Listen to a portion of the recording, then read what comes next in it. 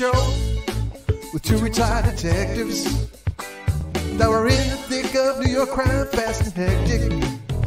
They got some stories and some jokes, even an interview with the most powerful folks. Off the cuff, off the cuff. One episode just ain't enough. Get a little laughter and an interview too. Best thing you can do.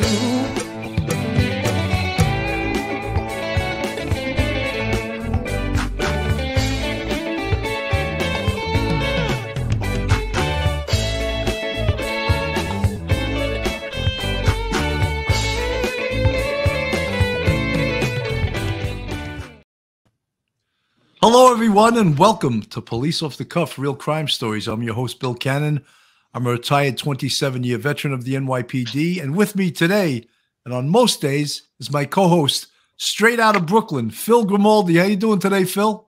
I'm pretty good, Billy, and uh, I'm glad that we're going to have uh, one of my brothers from Gravesend on the show today. Somebody that made it big in the motion picture business. You know, I'll, I'll tell you something. I was gonna when I saw I had two guys from Brooklyn, I was gonna call the United Nations for an interpreter.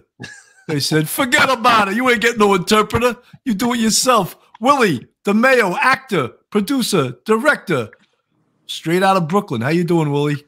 I'm great. Thank you so much. Uh, yeah, I know Phil for so many years. Uh, always, always, always been a great guy, and I'm, I'm, I'm very pleased to to be on the show with both you guys, Bill and uh, and Phil. Um, um, I'm excited for this uh, this 45 minutes that we're gonna talk. You know, Willie, I want to give everyone a flavor of the acting that you do and the directing that you do. So, if if you don't mind, I'm going to play your trailer for uh, for everyone, and I think uh, people will get a feeling about uh, what you do, what kind of acting, and let's get it going right now. with no sense in the world. I know what I am. I'm a soldier. Brooklyn. This is my home. I grew up on these streets. They made me who I am today. I was 13 years old when I knew. I wanted to be like Clayton Charlie. This is our neighborhood. All you gotta do is follow orders. You do that in this ours. Everything else is easy. Everything good with your crew? I gotta deal with this from the Bronx. His father's a captain. Respect is always got, Benny. You can't keep baseball batting people and then run to me. Yeah, I got everyone in check. The rules are the rules. I didn't make them up. Is that Carmen Rizzo's daughter over there? I want you to go over and talk to her. Oh my god, Benny, how are you? Look, Benny's your letters moving up in the world. You know the feds have been snapping pictures of us. There's a whole world out there different from here. And why you back? Why'd you come back? I gotta go. Of course you do. We got. Danny Cuccio did the storm. And I just stand there and watch him take a beat because Cuccio's a made man I'm not. Listen to me. You gotta control yourself. Running around this neighborhood like some crazy cowboy. There's rules and you know them. I didn't ask to walk around here. I have to fight my way through everything. Then you come in here tonight, you start a fight with your crew.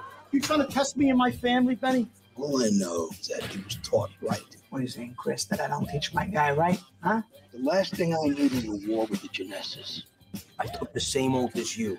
I knew that that was my life, that the life came first. Our oath and our rules is my Bible.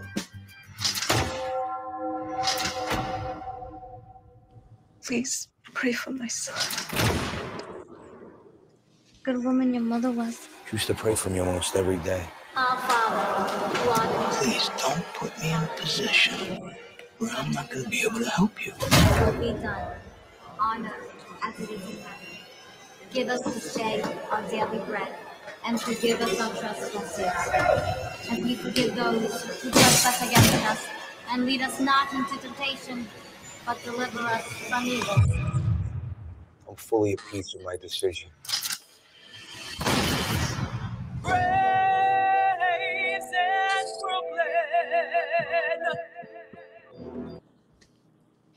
Very cool. Very, very cool, man. Yeah. Thank you. I mean, just watching the trailer, I mean, I want to watch it. I like those characters. Absolutely. You got people with some of the best faces I've ever seen. Where'd you get all those Brooklyn Italians from? From Brooklyn. Yeah. that was a stupid question, but No, Listen, that's true. Willie uses a lot of local people in all of his films. He's always filming around the area, Brooklyn, Bay Ridge, Bensonhurst, all that area. So he's uh he's a homegrown hero in Gravesend, that's for sure. No, thank you so much. Yeah, well, you know, the thing is, is that I I really wanted to get, uh, even if people weren't very well known, I wanted just kind of like how The Sopranos when they first did it, you didn't really know the act. They weren't very famous, most of the people that David Chase put in there, but they all did their role and they all, it all worked. They all were authentic. So I kind of wanted to do the same thing like even when Robert De Niro did a Bronx Tale, which was the first role, and that's how I even got in the industry. He just went out to the neighborhoods just to find authentic faces and people, and he went to Brooklyn and Jones Beach, and that's where he found Lillo Brancato. I mean, they they just went, they went and they found people. Just they just wanted street neighborhood people, and that's where they found Kathy Narducci and a whole bunch of people that winded up being in Bronx Tale were just weren't even actors, but they were real. They they were able to be authentic.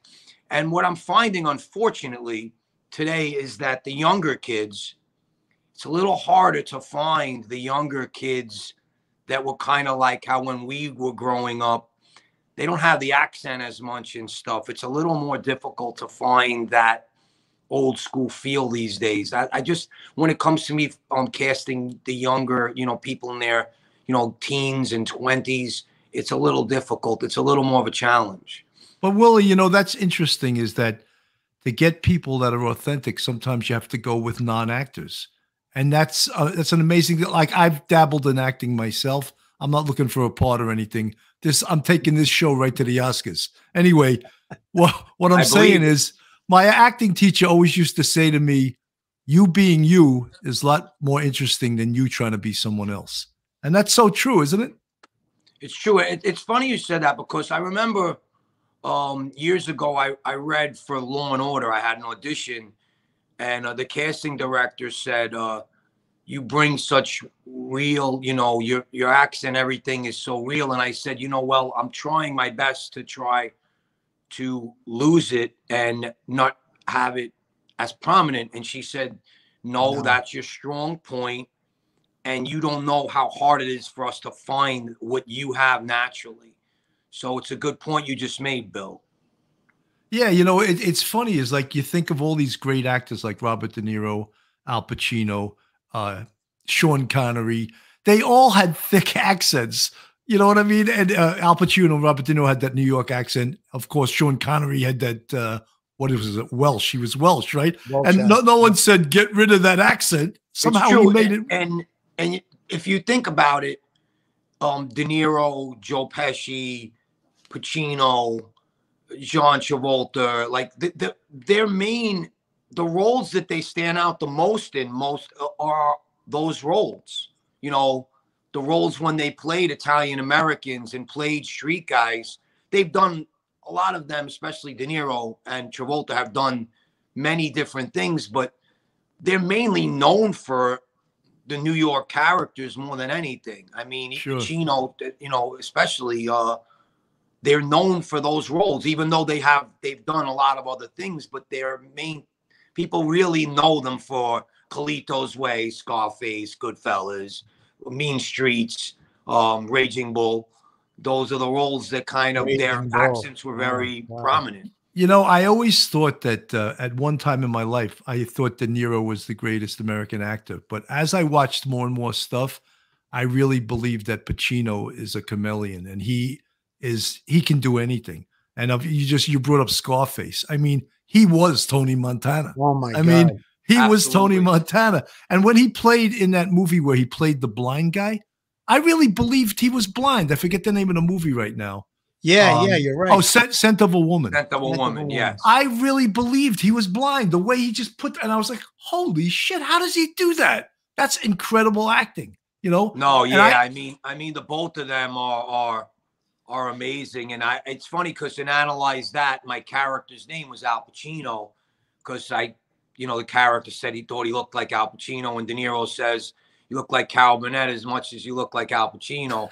um, and it was funny because I they were going to use Pacino was going to be in that scene with me too, and then he wasn't available. I would have been able to work with De Niro and Pacino in the same scene, which would have been mind-boggling. Pacino's definitely on my bucket list. I know he's 81 now, Wow. but I, I, you know, him and Stallone are on my bucket list to work with.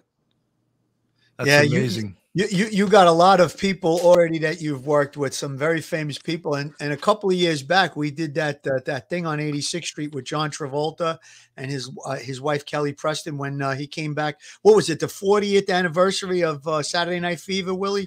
Yeah, well, it was right when the Gotti movie was coming out, and uh, John came in, and you know we had ten thousand people in the streets. It was amazing. It was uh, There it it was is. great right to there. do that in front of Lenny's Pizzeria on 86th Street. Yeah. It- It's funny because that day I was with you. I was doing uh, bodyguarding, and um, I met some of the uh, some of the uniformed police officers that were there. They actually had to call a mobilization because you were only expecting a couple of thousand. It was like over ten thousand people, I think. Right? It was it was it was really really uh, crowded there. I mean, there were people up on the roofs watching, up on the train station because it was under the L. It was uh, it was a great day. It was really. Uh, it was really nice. We had a lot of fun with uh, Joe Causi emceed it, and uh, right there you got uh, Marty Golden. I think he presented a uh, he presented some type of uh, an award to John Travolta. Yeah, he- a special achievement award, and, and I can't thank the six two precinct enough because they were all the captain, um, Anthony at the time, Anthony Longobardo. Yes. Yes, and Stephen, Stephen, who always helps us so much. Um, I can't thank the six two precinct enough, and and even just now recently, um, we were able to shoot a scene for Graves Gravesend season two there. Um, the new captain uh, is is wonderful too. I I forgot his name. Um, I apologize, but uh, they are they will always treat me really good. I, I can't say enough good things about the six two precinct. Uh, they were really great with this event and always. yes, um, have Steve, Gar- Steve. Gardell from the movie TV unit worked with you a few times too. I think he was also helpful getting that uh, getting that scene done at the six two that you just did recently. Yes, yeah, no, it was great. Uh, You know, Willie, I just wanted you to look on the screen. I love that actor on the right, and I have no idea what his name is.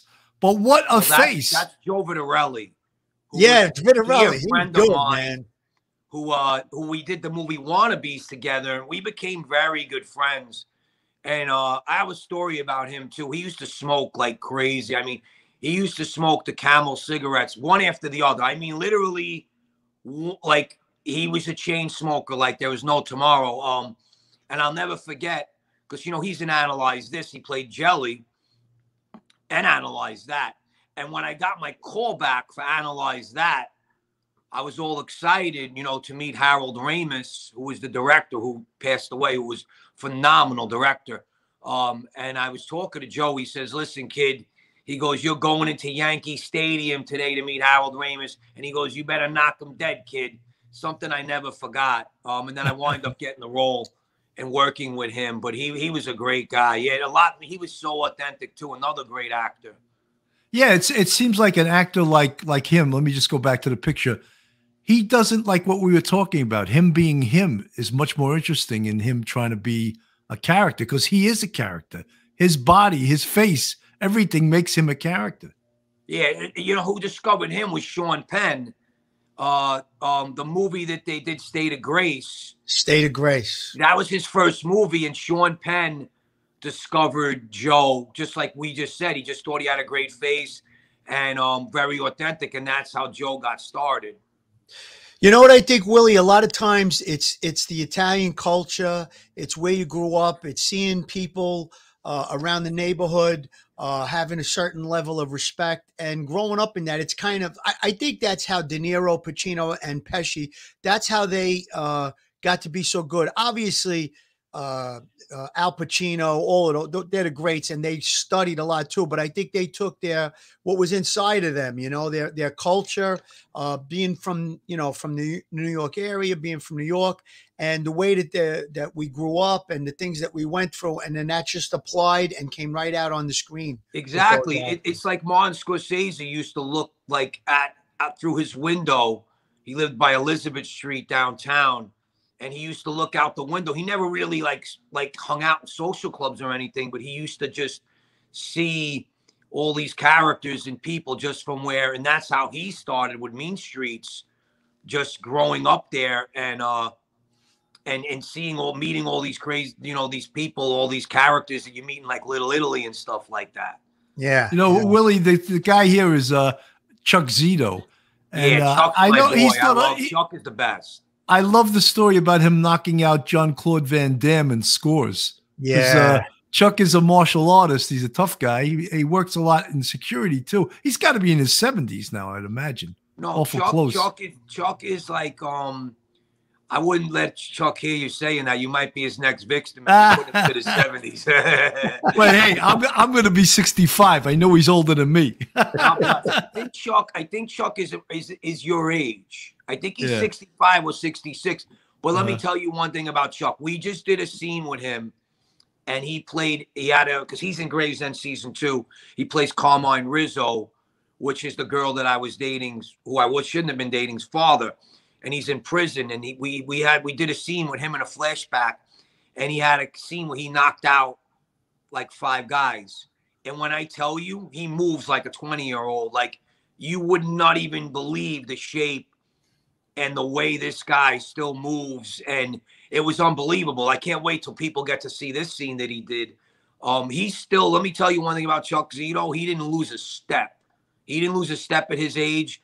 Uh, he's still in great shape. Um, he was just training Mike Tyson for his last fight. He was involved in the training of wow. Mike Tyson. You know, he bodyguards Stallone. He's uh he knows everyone, Chuck. He knows Wasn't he in original Hell's Angels too? He was in yeah, yeah. He was one of the yeah. He's in Hell's Angel, of course, yeah. And um, he's a he's a great guy, by the way. If he got your back, he, he got your back. You know, yeah. he was also he, he he's another guy with a great character face because he was in that show on HBO, Oz, the Oz prison. Oz, yeah. And that show I thought was great for the first year or two. Then it went over the top violent, and they lost the whole audience. I think. Yeah, if you go too violent, people don't believe yeah, he it. did a great job in that show. Yeah, no, I thought he was great, but I think the show uh, in itself got way too violent. Well, just so did um, the, the other show that just um, uh, Ray Donovan. It was that was fantastic. Then they went over the top violent. It was like this isn't even believable anymore. How are you killing ten people a, a, a you know a, an episode and no one gets arrested? People know? are saying that about Yellowstone as well. Yellowstone is a uh, is a great series. I watched the first season uh, or second season, and it just became more and more violent. Is what people are saying. I haven't seen the latest ones, but uh, yeah, you know, what, you know what the problem is is that, is that today when you're making these shows, it's like it seems like the audience wants to keep seeing. Like, remember The Sopranos? Everyone wanted someone to get whacked. Yeah. Like every episode, people want they want to see someone whacked. They want to see someone getting beat down, pummeled. And the problem is, is that you can't always do that. You have to make these characters be more believable too, where they're not just being violent. And you need to see the other sides to them. You can't just be just be hitting everyone and, and knocking everyone out and shooting. That's not reality either, Willie. That's not reality. It doesn't happen every second of every day in the organized crime world. People no. get beaten and killed. So, but no, you know, Willie, some of the things in The Sopranos that uh, brought the realization, like I remember, you know, sometimes they ingratiate themselves to you, and you think, oh, these what these mobsters are such good guys. Then they do something that shows you they really are mobsters. Like when Paulie Walnuts murdered his mother's friend and yes. burglarized the apartment. I was like, what a piece of shit that guy is, you know? But it brings you back to who these guys really are. And that's true. And, to, and um, I remember James Gandolfini when I was, because I was in 10 episodes, he always used to say that. He used to say, these guys are, these guys who they are. You can't, you can't sugarcoat it in any way, shape, or form. And I think that that was the, the problem that some people had with the Gotti movie that I was in, which I thought was really good, but some certain people were just like a little bit. They didn't really like that they showed the side of John Travolta, his character, being so much with his family. They just kind of wanted to see the mobster part of John Gotti. But when it showed how he was with his family, that was the difference in that Gotti movie was it showed a lot of John with his family and his and his son and his kids. And um, it seems like the, the world mainly wants to see these guys just killing people and and in social clubs and breaking knuckles and beating everyone up. But like you guys said, there's sort of like the sides to this trailer. Willie. Sort of like the trailer we watched a few minutes ago. Yeah, yeah.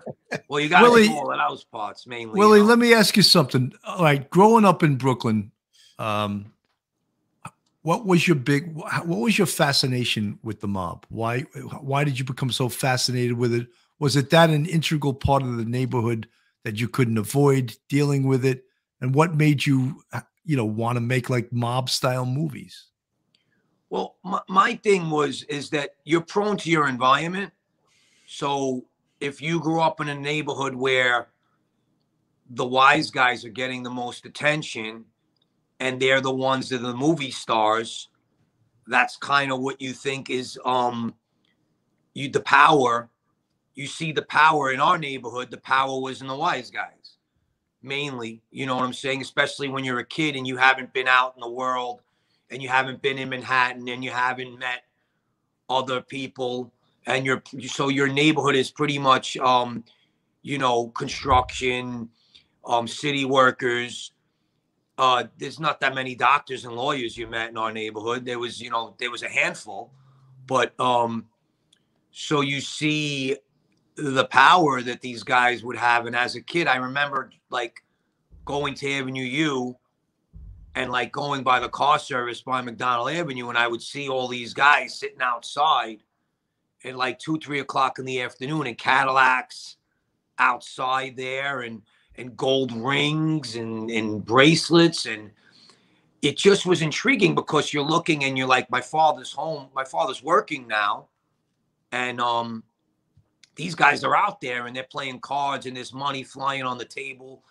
And um it, it- it's just crazy the um so you just kind of get intrigued by that because it seems a little dangerous and as a kid of course danger gets you a little bit excited too when you're younger and you know that there's a danger to it. And um just you know going for instance getting in pastels. The only way i got in pastels in front of the line back then was through one of those guys. You know what i'm saying? It would be like i'd mention someone and then i go in and i get in.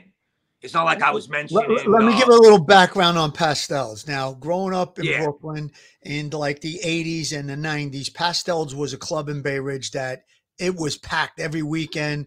Um, and and Willie, you hit it right. There were two lines. There was the I used to call it the good guy line and the bad guy line. The bad guy line went all the way to the corner around the block, and the good guy line was short, and you had to know somebody to get in. Now, I worked uh, not in that precinct, but I worked in a, in a neighboring precinct. So we used to get in there by showing our badges and, and we would get right in. And you're right. There was, there was, you know, there was the gangsters that controlled the place or whatever. And, and they would let people in that they knew too. But real quick about growing up, uh, you- mentioned Avenue. I grew up on Avenue. I worked on Avenue and there was, you really hit a point there. You would be a young kid. Now, everybody knew there would be rumor and innuendo about different guys in the area. I'm not going to mention names, but the minute you saw the guy, you knew who he was. You knew he was a made guy, or you knew he was nobody to screw around with. And they all had brand new cars. They all were dressed in, you know, 12 o'clock in the afternoon. These guys were dressed with dress pants and a dress shirt, and they had the nice pinky ring and the watch. And they they had respect when they walked down the street. People said hello to them. They got respect. So again, for young guys, Willie, you made a great point you could really look at this and say, wow, you know, they got girls, they got money, they got new cars, and you know, they're dressing nice and they're, you know, they're getting haircuts every two, three days, and and just really like it was almost like Hollywood. It was like, wow, you know. So I could see how young guys could get pulled into that. You're right, the excitement. And then when something would happen, there would be there would be, you know, not every day, but there'd be somebody get beat up or there'd be a, a killing, you know, a gang a, a gangland killing or something Oh, I got to talk about that. There's a story behind that, Willie. I got to tell you about. Sandy's a good guy. That's a good picture. that, that's Sandy Blue Eyes. So now that picture was about two months ago when you were filming at L and B. Yes. And yes. when I got there that morning, we got there about seven thirty in the morning, and I was helping you out to, you know, to co- coordinate with my relatives from LMB Spumoni Gardens. So all the actors were there, the extras, whatever. And this guy is dressed to the nines. He's got the tan, the hair's going. So everybody keeps saying to me, you know, the people that uh, affiliated with LMB, they're like, "Who is this guy? Who is this guy?" I said, "Gee, I don't know. I don't know who he is." You know.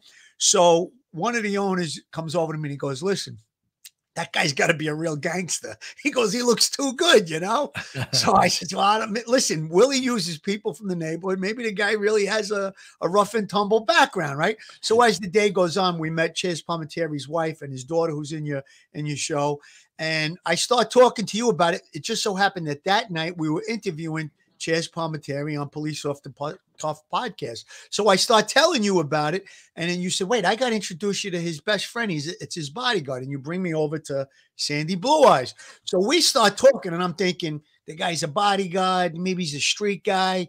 All of a sudden, he tells me I'm a retired highway cop. I go, I know, right? I go, I'm retired too. And we just made a bond, and we've been, you know, uh, talking ever since. And we're we're actually going to have Sandy and Chaz on sometime in the future, hopefully in the new year. And uh, but it was just great how everybody's going to me. Who is this guy? Who is he? I, I don't know. I, I, I everybody thought he was either like some big, big actor, you know, that they couldn't just think of his name, or he was definitely a gangster that you were using in the, in Oh, that's show. great. Well, even even you, Phil, you you know, just like when you first came on today, when you were joking with the with the shades. I mean, you could pull off the street or you could pull off the law. You know what I'm saying? So Since you kind of bring like that and a up, lot of a lot of cops. can, Since you bring that up, guys, wait, you know hold on, hold They're on. neighborhood guys. A lot of the cops. Oh yeah, wait, hold on a second. You know, I got my gold chain. There you thing. go. Fucking kidding me or what? I got. I'm going to audition for a part in your next your next uh, episode, Willie. You know, w- Willie, I got to show something because I'm sure you're very proud of this, and I got to show our audience this. Those look at those abs, huh? Yeah. Wow. Th- Yeah. Those aren't Spumoni Gardens abs, right? No, definitely. There was no Gardens. When I, when I played that role, Anthony Rodriguez, in the boxing movie, there was no Spumoni Gardens for like over a year. It was just grilled chicken at Spumoni Gardens. Yeah, That was- you weren't eating too many squares from L and B at that Oh time. my God. I remember that pizza for over a year. I had uh, no sweets at all. You I'll you were tell you a probably training about every that, day too. too. No, Excuse me? You were training every day. every day. And I'll tell you a story about that too. So um, I was on such a strict, strict diet, like beyond crazy. And I remember right before right Christmas, my family was like, "Come on, it's Christmas. You got to cheat. It's one day."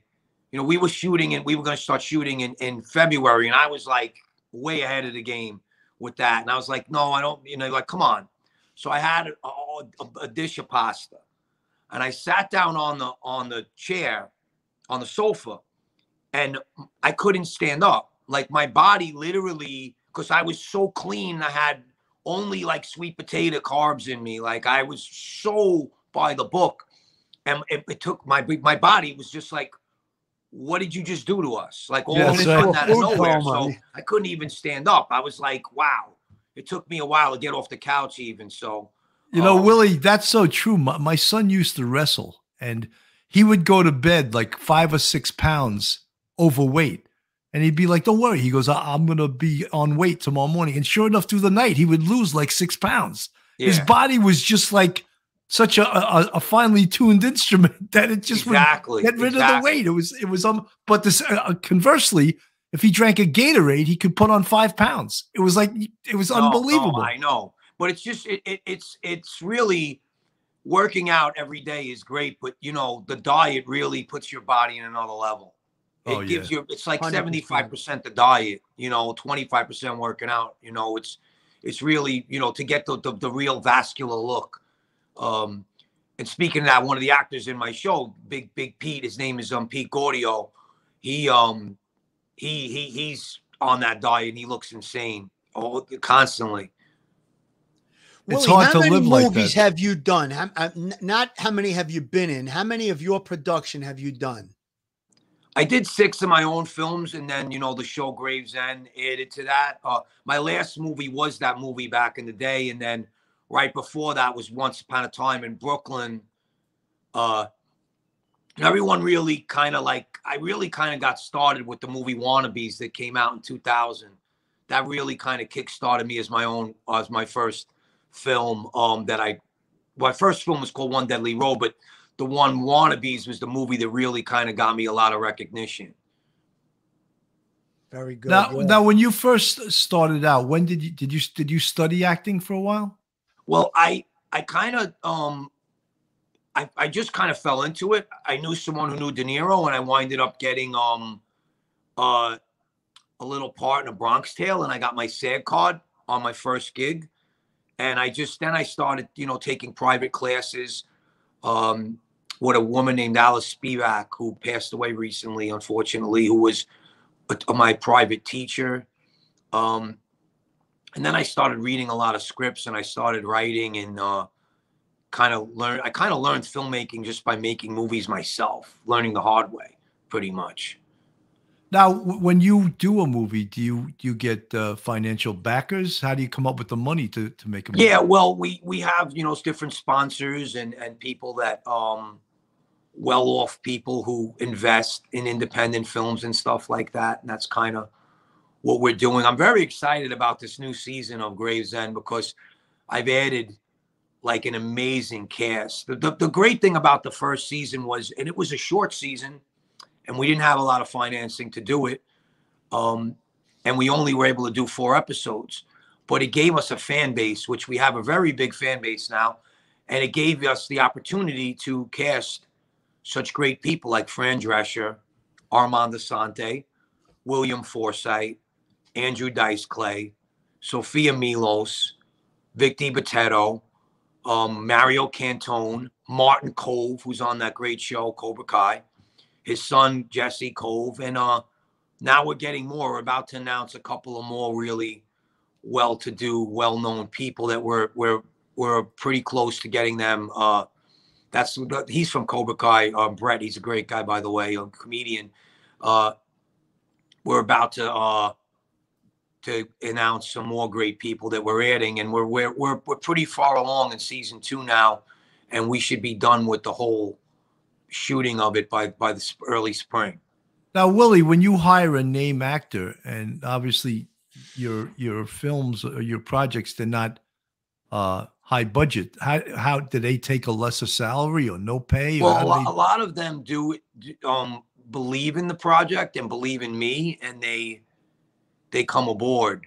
You know, Alec Baldwin was in my last movie, uh, so when you put people of that magnitude in your movies, um, the agencies are, are quick to get on the phone with you because they see you have a track record that you Right. put people like that in your movies, and um, the show really took on its own identity and a lot of people you know dice andrew dice had contacted we we spoke to each other and he had watched the first season and he really liked it and he not only came aboard as an actor but as a producer as well as an executive producer so um that's another good actor chris Mamando, who plays one of my drivers now who's a real there's a there's a guy who's authentic he did some time actually um and he and when he came out he got into acting and he um and he just studied acting and uh he, he does a great job um in you know, show. Willie, every everyone wants to be an actor, but not everyone wants to put in the work that it takes to be a really good actor.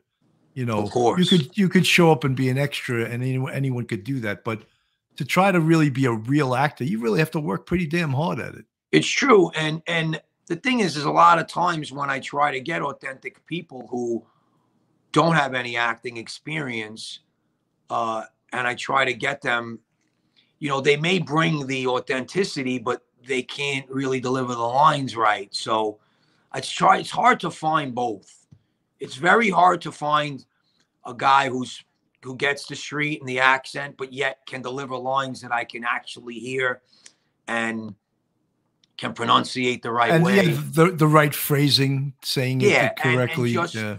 And just you know a lot of times you put a camera on people and they freeze.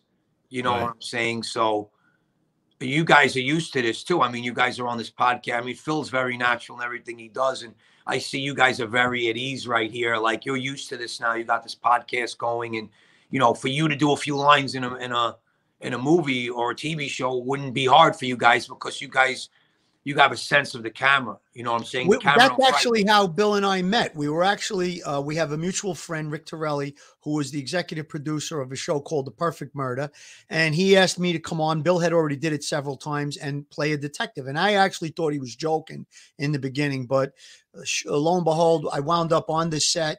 Uh, Bill was playing my partner, and I was a little nervous. And I says, Billy, you know, he said, "Don't worry about it. Just do what you would normally do as a detective, you know." And we just started like uh, hitting each other with lines and hitting the guy that we were interviewing with lines, and it just became real natural. And we were able to really come across good on screen. Bill did about six episodes. I did three episodes, and I got to tell you, Willie, and I think I might have told you this before when we met uh, after I did it. I have a newfound respect for actors because it's not easy to memorize those lines. When you read it on a piece of paper and you read the sentence, it's just words. But now you have to deliver it and it has to be believable. And for me, it wasn't that hard to reproduce the lines on the paper because I was a detective for my whole career, just about, you know, and I was on the police force for 22 years. So it really wasn't that hard.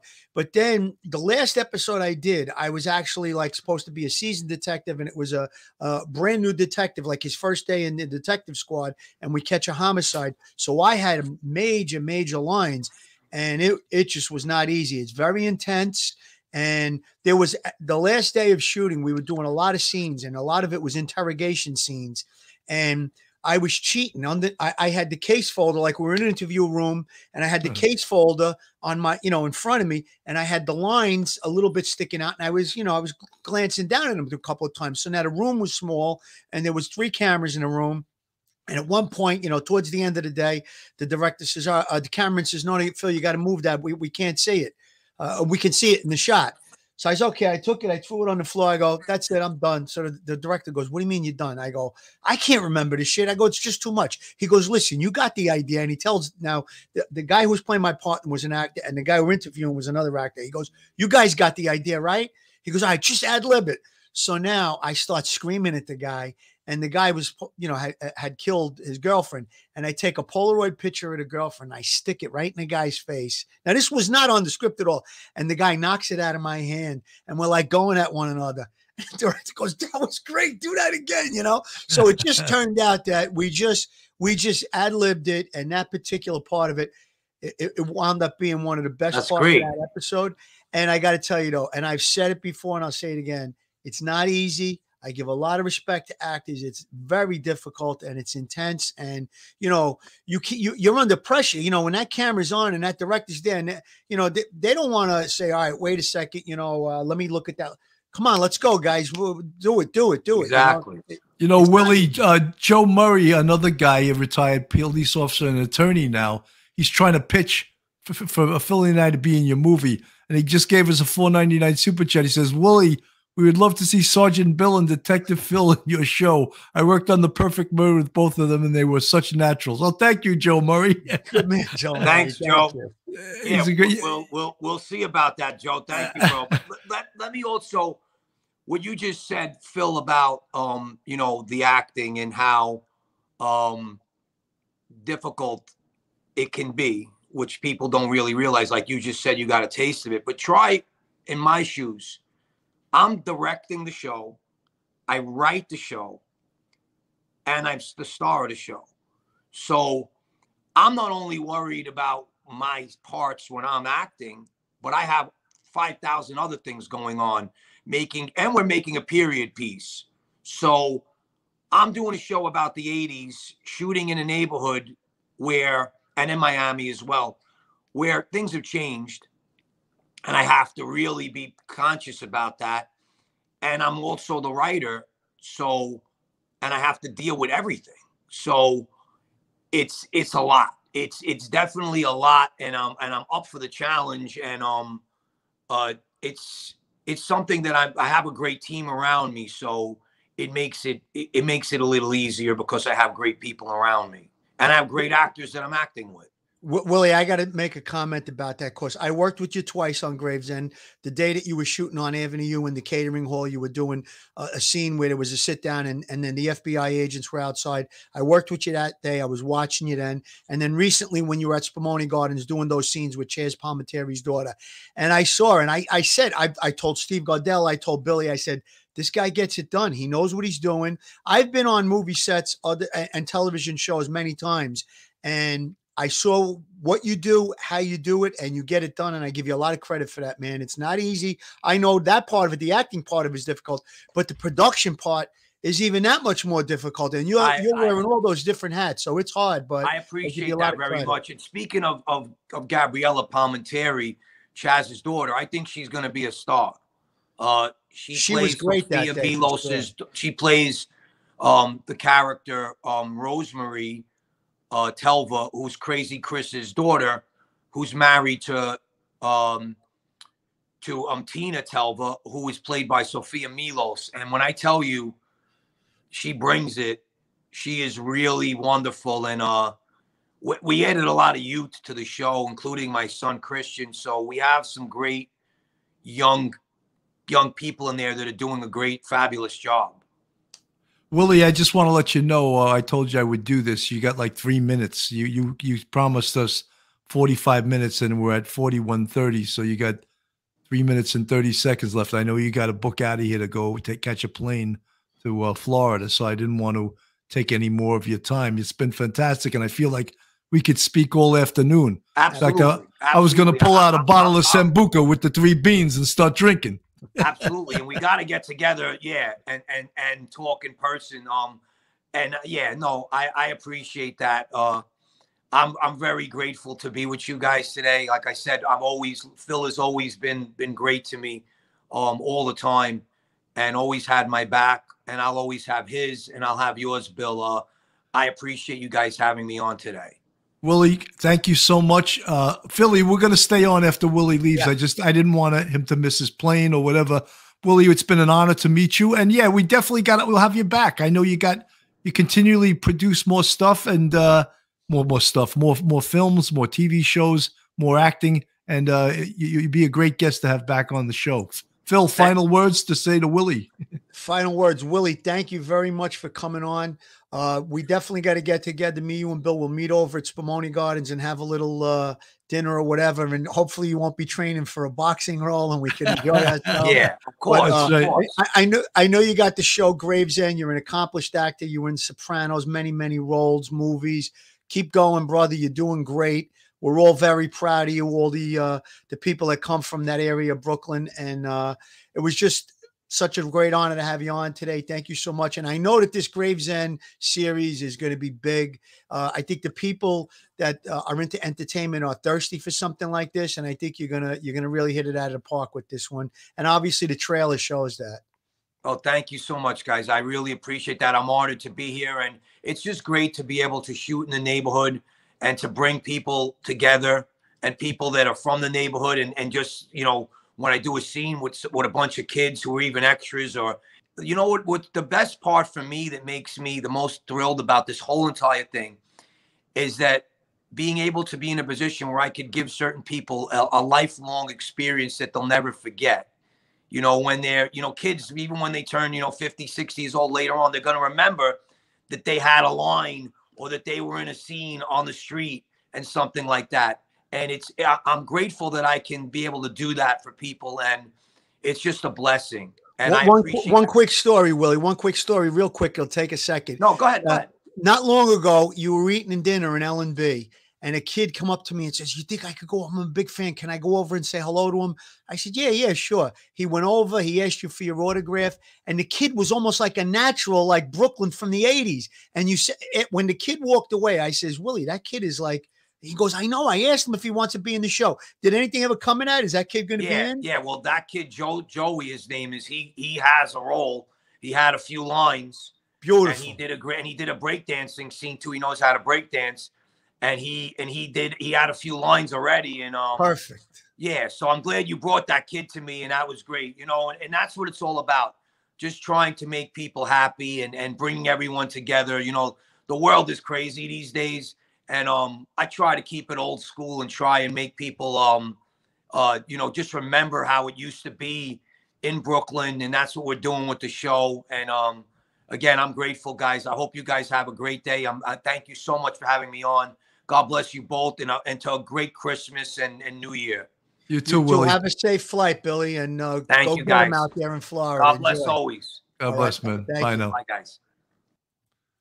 That was great. You know, Philly, it- it's funny that um, I was thinking that, uh, you know, one of the things that uh, when he talks about acting and all of that stuff, and we do this show, and believe it or not, and you, as you know, I've been doing News Nation. They've been calling me as a talking head, and I, I, I I'm not nervous at all. I walk down my driveway. There's a uh, production van, and I get in there, and I realize there could be hundreds of thousands of people watching. I could give a shit. Right. You know what I mean? I'm not nervous at all. And a lot of it has to do, I've done over 400 of these shows. Plus, I did stand up comedy for six years. So basically, you know, I could, if you could do stand up, you could, uh, you don't get nervous about doing anything. You know, there's not there's not much stage fright once you've done stand up i'm sure. And then when you look at our careers i mean you you know let's say you roll up in uniform you roll up on a car accident you start directing people you're talking to a crowd so you're already you're getting the exposure there. And then testimony at trial that was another thing that made me like you know not have fear of the camera or anything. But i got to tell you this bill when we first started doing i came on as a guest and I was a guest on Police Off the Cuff. It was one thing, but then when I was co-hosting with you, when I was actually doing the show, there were times I had knots in my stomach. I swear this is the truth. There was one time I actually took a little bit of scotch. I downed it right before the show, and just to like settle me down a little bit. Obviously now it's like second nature. I could go on ten minutes before we're going to do the show, and you know I just turned the camera on it to set everything up, and we're rolling. And you're right. If I had to do News Nation as one of those things tomorrow, I mean, the first time I might be a little bit nervous, but I would be very comfortable with it, you know. And I guess that's uh, what Willie was trying to get at, you know. You know, Phil, it's amazing that you brought up some of the things from the job, like right, testifying in a courtroom. That's being, you know, talk about acting. That's being on under pressure. For me, presenting at CompStat oh, and uh, standing up at a lectern and having an adversarial group of bosses questioning you in an That's adversarial manner. testifying in court. If people, Oh yeah, only other cops are going to understand what you're trying to say. But basically, you got the police commissioners, the high-ranking chiefs of the department, and like you said, they're not putting you up there to like you know give a speech. They're going to critique you and, and like ask you questions about it, and they got all the answers because they get all the information the day before. So now, when you're giving your presentation. If it's not right on the mark and they start throwing darts at you, like, right? Isn't that what happens? Well, yeah, I mean, it's an adversarial way, and it's it's like just imagine if anyone out there in the audience, your bosses having you in front of all your bosses and have them question your competence. That's very intimidating. So, if you falter, they're questioning the competency of the job that you do. So that's so so very intimidating. Some of you folks in the chat, yeah, I did stand up comedy for almost seven years, and then when the pandemic hit, I stopped doing it. I started doing the podcast more, and I haven't gone back. I miss stand up, but I, I don't miss the hustle of it, meaning that I had to go into the city two or three times a week. I used to run a mic on Monday nights up here, and then you do shows in between. And That's a it- it- grind. it- That's a yeah, it's it's very. um Look at Joe Murray. Try, thank you again, Joe, for the 499 super chat. Tried defending criminals in court. Oh, good Some acting skills, except mine, are not are all not guilty. Yeah, Joe, I'm sure yours. In fact, you know something, Joe? Let's we got to do your commercial. Just to, he, he brought up such a good point. We're going to do his commercial. We're going to do his commercial. Have you found yourself in a jam? Are you in need of legal counsel in the New York area? Do you need a victim's advocate? Well, Joe Murray is your man. He's not only an experienced trial attorney, he's also a retired 15 year member of the NYPD. He literally knows both sides of the fence. His website is jmurray law.com. His telephone number is 646 838 1702, or you can email Joe at joe at jmurray law.com. Yeah, good point, Joe. You're, you're, you're defending somebody that's probably guilty and you got to really tap dance. I get it. That's acting. That's real acting. Well, you know something, it's so true. Like we all act, you know, we all uh in all kinds of different situations, but to be able to draw upon that, like I mean, I had done some scenes in acting class, and I look, and I just scratched the surface. I studied acting for about three years, but I did some scenes in acting classes where I literally had tears running down my face. And I was like, I never knew that I could do that.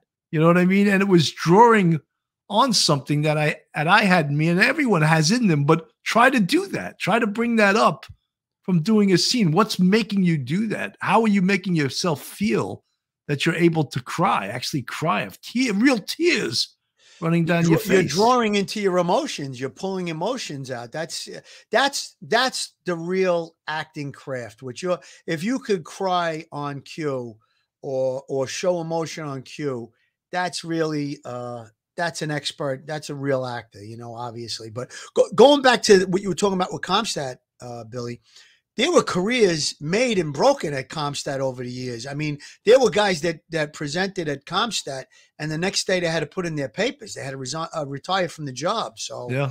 Uh, again, that's real stress. There was I I saw a lot of nastiness down there. It wasn't pretty, and um, I mean they would def- the people that were the inquisitors. They would defend what they did because it was for the better good of the city and the better good of the department, all that stuff. But I saw some real nasty stuff down there that wasn't wasn't nice. It wasn't pretty, like you said. People left CompStat meetings and just went and put their papers right in and said, "I'm out of here." You know, this is ridiculous. I'm a grown man. I don't want to be spoken to like that. Know? There was actually like when CompStat would come down, bosses would go hiding. You know, they didn't want to be because there would be in the squad there would be a lieutenant and sometimes two sergeants. So if the lieutenant lieutenant wasn't able to make it, he was out sick or if he was on vacation or something, and they would have to send a sergeant. They'd be you know running to hide, who you know, get out of the office, uh, uh, you know, sign out before they could grab you for CompStat. But uh, again, talking about testimony in trial. Now, when you testify in court, there's the grand jury, which is just a, a, room full of civilians and the district attorney. That's, you know, it's 30 people looking at you as you testify. It's not really that uh, intimidating. But then you have like a hearing where it's the judge and it's the prosecutor, defense attorney, the bad guy is there, and you know maybe a handful of people in the courtroom, which that's a little bit more intense. And then when you have a trial, like specifically a homicide trial, which you and I have both testified at, I mean, you have a full courtroom, you have a full jury pool, you have, you know, every everybody in the room is hanging on your every word and what you say. And then when you say what you say, when you're getting cross-examined, here comes the defense attorney that's going to try and impeach your testimony and call you a liar and and, and Phil, that's always that's also um, displaying your competency or lack of it. If you Absolutely. don't if you're not competent at testifying and competent at your job, a good defense attorney can eviscerate you, just Absolutely. totally destroy you. You know, um, who just I just saw someone had asked me, Linda Petrovich had asked me, she didn't know that I was an actor and in movies. I wasn't in movies, I was in a TV show called The Perfect Murder, and I've been in a bunch of commercials. Uh, before COVID, I was auditioning a lot for commercials. But again, the grind is like I wasn't getting booked as much uh, as I would have liked. And then when COVID hit, the live acting class that I was going to was no more. And they tried to do it by Zoom, but it's not the same. So I stopped taking acting classes and stand up stopped. And we're actually doing stand up shows on Zoom. And that wasn't the same either. So I didn't go back to, in fact, just very recently, maybe about a month ago, two months ago, I had an, an agent that was sending me auditions like two or three times a week and I finally told her, I go, I don't even want to do it anymore because even when they send you an audition, you have to do the audition on your phone. So if you don't have someone to read opposite you, which I didn't, my wife was working, there was no one home. I, you can't do the damn audition because it's not authentic if you don't have someone that can read opposite you. And even if the person that's reading opposite you, if they're not an actor, it makes your performance that much worse. So I was just like, you know, something. Every time I was getting sent an audition, I was like stressing out. And I was like, you know, I called her up and said, look, I'm out. I said, I You know, don't- you know what, Billy? When you think about it, if it wasn't for the show, The Perfect Murder, there would be no police off the cuffs because you and I would have never met, and there would be no police off the cuff. And then what you said just now that because of the COVID and everything, that's maybe what you focused your energies on, Police Off the Cuff podcast. And Yes, we are doing it. hundred percent. I wouldn't have uh, put so much into this if I was still doing stand up and if I was still doing uh, acting and all of that stuff. And I'm not. I'm not going to say I'll never go back to stand up or I'll never go back to acting. I loved acting, but when I tell you it's a lot of work, you know, Oh, you can be a half-ass actor and put nothing into it, but if you want to really be good at it, you really have to work hard at it, and it's it's it's no joke, man. It's it's it's so time consuming, you know. you know you're making a great point about it because i could remember um you know when when when you get the call sheet usually a day or two before and it tells you what scenes of that big long script that you know that they're going to be shooting that day now i would study and uh, there would be like a break in the scene and then you'd go into the next scene and one time i was sitting down now i i we were going to do the first scene and then the director said, you know what, let's just go right into the next one. And he combined them. And I always, in between scenes, would go over it. Now it was like he combined it three pages of of uh, dialogue, and it went from a page and a half to three pages. And I was like, oh my god! And it took a couple of times, a couple of takes before we got it down. And but when you're going into that many pages of the, it's it, believe me, guys, it's not easy. Just like doing this podcast, there's a lot of work that goes into this. And just earlier today, we were sending pitches back and forth. We were trying to get Willie on, and people don't realize, you know, So you know, I mean, Phil, you, you're so, so right. People think like you just come on here and just No, talk and just, no. and I wish I could do that, but there is some preparation to this, sometimes more than others. Today was a little easier because I knew we could just have a conversation, but there's times when you really have to do some studying. I just want to bring something up today. Folks, if no, if you're not um, subscribed to Police Off the Cuff, please go on our YouTube, hit the Give us a subscribe button, ring the bell, give us a thumbs up. Also, uh, if you could support us on our Patreon or our YouTube family, I see a lot of green font out there. And I also want to throw it out there to uh, guys, cops that are listening. Phil and I are going to do a Christmas show. And actually, Oh. someone in the chat came up with this idea. I, I'll get her name. It was a brilliant idea. She says, Bill, Sergeant Bill, she says, why don't you do a Christmas show where you tell really warm hearted cop stories about things that cops have done during Christmas time? And I was like, that's a brilliant idea. So, Lieutenant Pete, I'm throwing it out to you. If you got a great story, I would love to have you on the Christmas show. Joe Murray, Angie Yang, if you guys have a like a heartwarming Christmas story, you know, like you found a puppy and returned it to its owner or something like that, you know, you uh you brought someone food that didn't have any money, you know, something like that. A real that cops do all the time. Well, well, Billy, I spoke to Tommy Dades after we spoke about the Christmas show, and he's got a fantastic You know, I story. I, I would put this out there and people are gonna come out of the woodwork even making up stories, you know? No, he's he's got a he's got a story. Because the minute I said it to him, because I I said I'd like to bring on Joe Cal, Joe Calderera, my my old partner that I worked with, and we have a great Christmas story. He's a retired lieutenant, and but when I talked to Tommy, I he's oh I got a great Christmas story. It's not really that heartwarming, but it's going to be worth it to hear the story. I'm not going to say. Look, more than that. I, I, I just think that it could be great, you know, because people want to hear stories of giving, stories of love, stories of thoughtfulness, you know, and I'm sure Lieutenant Pete has a, a bunch of stories because uh, he How many Christmases did you work, Billy, in, in 27 Yeah, years? on job? yeah. You know, I mean, uh, you know, and th- there's no holidays when you're a cop or, or when there's a homicide on Christmas Eve. You know, guess I- what? I, I, you're had not going home. You know, Yeah, I had something really terrible on Christmas Day in my last couple of years on the job, and uh, we'll talk about it another time. But yeah, I mean, uh, you worked all of those holidays, so there's going to be plenty of stories. So I think we'll come up with a nice show for the uh, for the Christmas spirit, and uh, you know, uh, the, the story that I'm going to talk about, if if I could get Joe Cal to come on, it's uh, it was a life and death story. I'll leave it at that. And uh, but we both made it through okay. So. And you know, folks, anyone in the chat that uh, is a cop or, or, or member of the service, I put our uh, email up there, policeoffthecuff1 uh, dot com, and, and you know, email me your story, and uh, I would love to have you on. You know, and again, you know, we'll do roughly an hour, an hour and fifteen minutes. We don't want to, you know, go crazy because it's a Christmas show. And I, I thought, and I said to Phil, I said I would love to have Christmas songs and all of that stuff, but we can't do that because we'll get hit with a copyright infringement. And we, unfortunately, all Christmas songs have people that wrote them, and they, and so we're actually not allowed to on YouTube anyway to use Christmas songs. I would love to do it because, but because it would make it so much festive. But I promise you this: we're going to be having a cocktail during this Christmas show. Maybe go. I'll maybe I'll have a little Bailey's, maybe we'll have some eggnog, whatever. But we'll we'll make it a very festive. and not because I'm nervous, I'm going to have it. I'm going to have a drink for Christmas, not because Yeah. I'm nervous. I mean, I think it'll be a lot of fun. It'll be in the Christmas spirit, you know. It'll be it'll be just a great, great time. And uh I mean, I, I got to get the woman. She, I think she was from um Scandinavia somewhere. I got to get a name. I feel stupid that I didn't write a name down. She's always uh, she's always coming on Coffee with Cannon, and um so I got to write her name down. But i- i- if she, if she's listening, she knows it's her. It's a great idea, and we're gonna do it. I just. uh Yeah, I I'd think like- that's I think it's a fantastic idea. Thank you. We'll figure out her name. We'll mention it on the air. But uh, yeah, that's going to be good because I'm uh, as with think as I'm thinking, I'm coming up with a, a few other stories too. So it'll be good. It'll be good. You know, I think even I Angie said though you could just sing a song. I think even if you sing a song, they can hit you with the copyright. Because when I did Fairy Tale in New York and I didn't I didn't monetize it, they put copyright.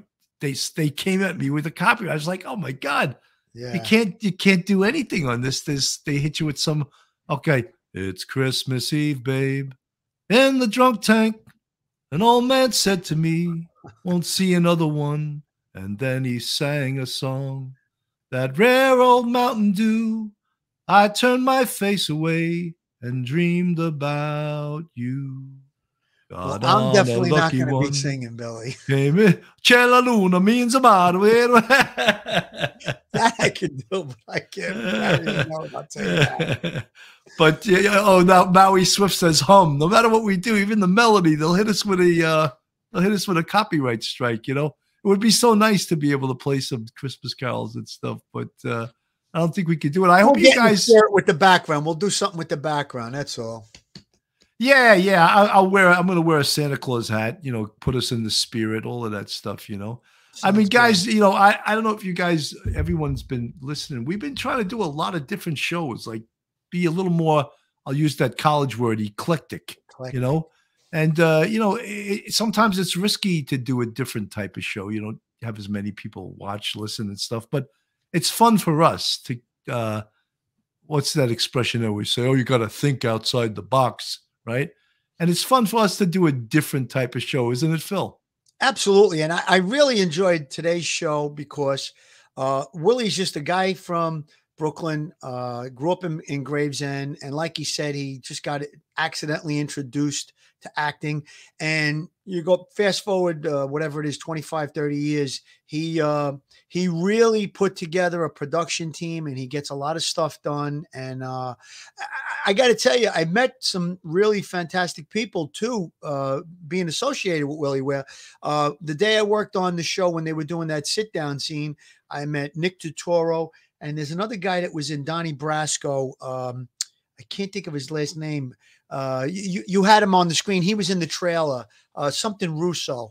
Uh, met Chuck Zito with Willie. Uh, then I met Chaz Palminteri's daughter and, and his wife. And uh, you had Sandy Blue Eyes up there. That was great because that particular day, that's that's a real authentic true story. Everybody was like, "Who the hell is this guy? Who is this guy? Who is this guy?" And then I don't know. For a second, I thought he might have been like a real live, you know, street guy.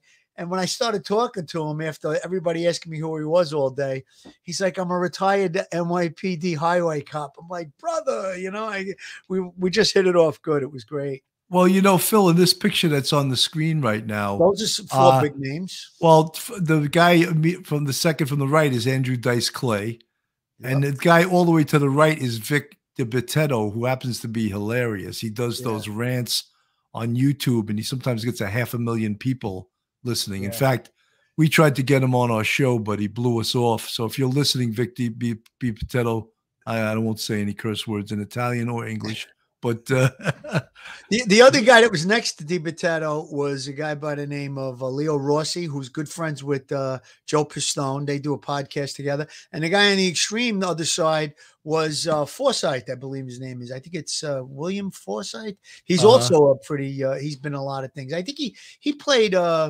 He played a lot of. Uh, I think with Steven Seagal. Uh, Mikey, you see Richie. That was. oh, I, oh, I love that one. Yeah, Anyone yeah, yeah. seen Johnny Lupo? who, who killed Bobby Lupo? Oh, you Bobby Lupo, you bunch of shadruls.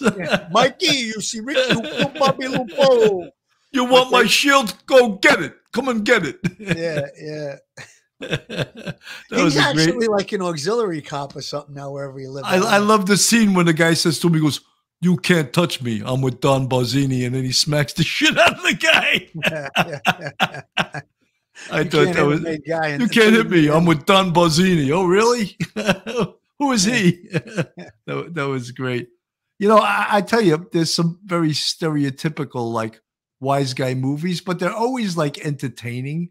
And when they get like authentic, I was watching even the other night. I was watching um one of uh Marty, Martin Scorsese's um the, the Casino Oh, Casino. It's good. and it's good, but it's it's sort of like he's repeating a lot of the themes from his other movies, from Goodfellas.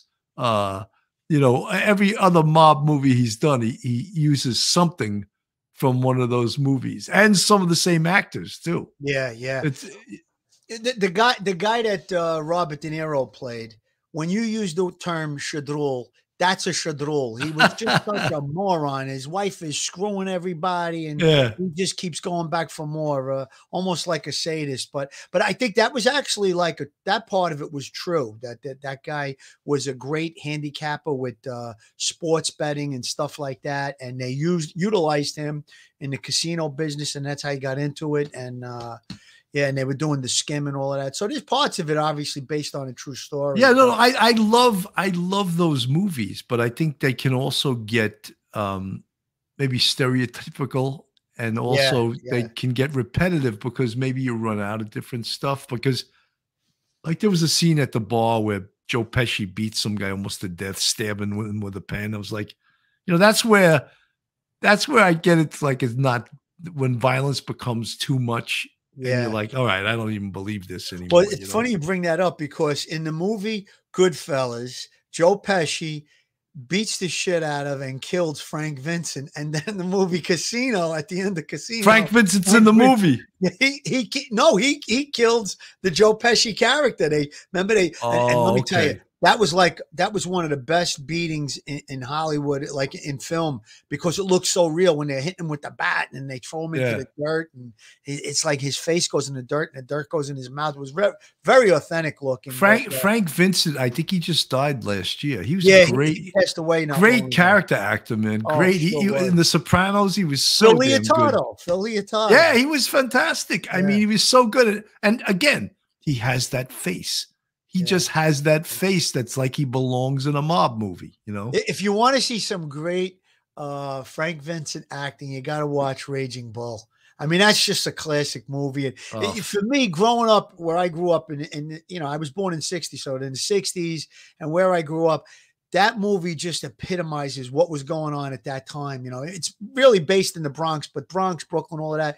It's just like I knew people that the way that those guys act, like the way the Jake LaMotta character, and I, you just knew people like that, you know, and, and the way that they acted and the mannerisms, and uh, it's just it's unbelievable. I could Well- do so many lines from that movie too. Well, it was funny. My uh, my friend uh, when there was a scene where um, in the movie De Niro says to his one of his kids, he goes, "Get your hands off the table, or I'll stab you with this knife." oh no, that was Pesci does that. Oh, Pesci and, and uh, my friend said that was my father growing up. I was like, "Oh, that's too bad." You put your hand in that dish again. You see this knife? I'm going to stick it right in your eye. And then right after that is when uh, Robert De Niro comes in and beats the shit out of the Joe Pesci character because he thinks he screwed around with his wife. That's right. That's right. Oh God, that was crazy. That was really. Uh, Oh, I remember the one scene in Goodfellas where he he tells his brother, which was Joe Pesci's, "Wrap your hands," and then he had him just punch him in the face a bunch he, of times. he made him wrap a towel around his hand and punch him Yeah. in the face. I was like, that was so sick, you know. It was Yeah. like, uh, he he was really he was really a character, the real Jake LaMotta. He was. They said a lot of those things were true. He was uh, super super jealous of his wife and and would go off on these crazy tangents that she was screwing around and you know. But uh, and she, he did uh, he did meet her when she was like 16 years old, and I guess he was probably maybe 30 years old. So there's a lot of truth to that movie. But uh, and I think Robert De Niro to get ready for the role, he hung out with Jake LaMotta for like six months and Yeah. uh, he was with him day and night, and uh, he pretty. Uh, I think, if- I'm not mistaken, that movie won a uh, Academy Award. Yeah, I think that was one of um, Scorsese's best movies he's ever done. I mean, directing wise, cinematography, The black and casting, acting. It was it was an incredible. It was an- that was his best work, I think, ever. And then again, I thought Gil- Goodfellas was fantastic. Uh, I like the way Goodfellas he had Ray Liotta narrate the movie. That was so cool. You know? yeah, that was that was a very. I think that that really started a lot of other movies or, or shows that did stuff like that, where they did like a little narration, you know, where it was almost like a, a documentary film, you know. Yeah, and it, it really and it worked so well. It worked, Yeah. you know. I gotta make some sauce. So I'm cooking up the meat over here. She's slicing the garlic, but I gotta take a errand to the airport, pick up some Italian bread. And like, I was Yeah, like, yeah. that was so good, you know. Yeah, that that's a classic movie, and his song. And the best part of that movie that everybody always does it. You know, one of my clown. That was ad libbed. Joe Pesci and and, and the, the actors that were in that, Ray Liotta, they kind of you know it was really not written the way it came out. They ad libbed a lot of that stuff. And uh, yeah, no, it, it was it was fantastic. Uh, You know, iconic. It's funny. Um, the the guy Chuck Low who played Maury, he was a good friend of of my wife's, and I knew him. And when I saw the movie, I was like, "That's Chuck. He's not even acting. That's him. That's who he is." And it was right, so- right. No, it's, the whole thing, the premise we said, you being you is more interesting than you trying to be someone else. And Yeah. Chuck Low played himself, but he was on a movie screen. He was fantastic. You know, it's it- like, it- it's funny because that's how you get the authenticity. You're authentic when you're playing yourself. Willie DeMeo, uh, a while back, right right before he did the scenes at Spumoni Gardens in Brooklyn, he had asked me. He goes, "Oh, he goes, you want to be in the show? I could give you a part. You you play a gangster." I said, "Listen, I could probably pull that off." I said, "But." I'm more of the detective. I'm a, I'm a cop. You know, that's what I did on Perfect Murder. And we were talking about maybe you and I doing something with him. It just it didn't pan out, but who knows? Maybe going in the future. But I think it would be a, a a lot less of a stretch playing a detective or an FBI agent as opposed to playing a gangster. You know. right, right. But I'm sure you could do that too. I mean, it's, it's Yeah, not- it's not I grew up around enough, and believe me, I grew up on Avenue. There was plenty of gangsters around me, and my in my life, I went right instead of going left. I could have went in that direction, but I had the right people around me, whether it be my older brother Nick, my cousins. Uh, I always hung out with guys that are older than me that would always pull me by my collar and get me out of harm's way, so to speak. You know. Hey, you know, sometimes in life you can pick door number one or door number two, and door number two is the prize. Door number two is disaster, and uh, yeah. The one way had- ticket to Palookasville. That's that's right. We've all had those moments in our lives, you know, Yeah. not just us. Everyone has. Anyway, Phil, we're at four. We're at an hour and twelve minutes. I think that's yes, it's time to uh, absolutely. say goodbye. You know, folks, we tried to do a little bit of a different show, not take a story from um, the national media, but invite a pretty cool guest who I enjoyed having on, and you know, just a little lighter topic. But tomorrow night we'll probably be back with something tomorrow night. We don't have anything scheduled, but we're looking at the national news. Maybe we'll even do something about the brothers Cuomo. I don't know. Yeah, you know, my favorite topic. The we brothers might we, we might cover the brothers Cuomo. You never know. We, we gotta we gotta see. But uh, Tuesday night we have a great show with uh, Michelle McPhee, and it's going to be on the um, Boston Marathon bombing and her book Mayhem. And we have an actor named Cliff Moylan on, and uh, Just have to hopefully it that's the that's the book, right? And the real um, Sergeant MacLellan from the Watertown Police Department in Massachusetts that shot it out with the Tsarnaev brothers. I think it's going to be. Is he offensive. is he committed with us? Is he on? Is he I, I'm pretty sure he's going to come on. You know, I'm just a little. I'm just a little concerned he may be technologically challenged, which we've had some recent disasters with that. Phil, final words. Final words. Uh, everybody have a great Sunday. Uh, enjoy. It's the holiday season. Christmas is coming. Uh, be around your loved ones, enjoy each other, try and make the best of the crazy times we're going through in the world or in the United States anyway. Um, it was a great show today, Billy. I'm glad that we got Willie on. He's an accomplished uh, movie producer, actor. He wears many hats. I thought it was interesting. And uh, a shout out we gave to Sandy Blue Eyes. Hopefully, we'll be getting him and Chad on sometime soon. There he is again. That if I tell you the start that that guy caused that day, everybody all morning because I didn't meet him till like two o'clock in the afternoon. You know, he was on the set. You know, you didn't want to interrupt, and everybody five, six people. Who is this guy? Who is this guy? Because he was dressed to the nines and he looks exactly like. He looks good, man. He's got those shoes. He's got those expensive shoes yeah, on. Yeah, yeah, yeah. He, he, was head to toe gangster central, uh, right out of Central Casting.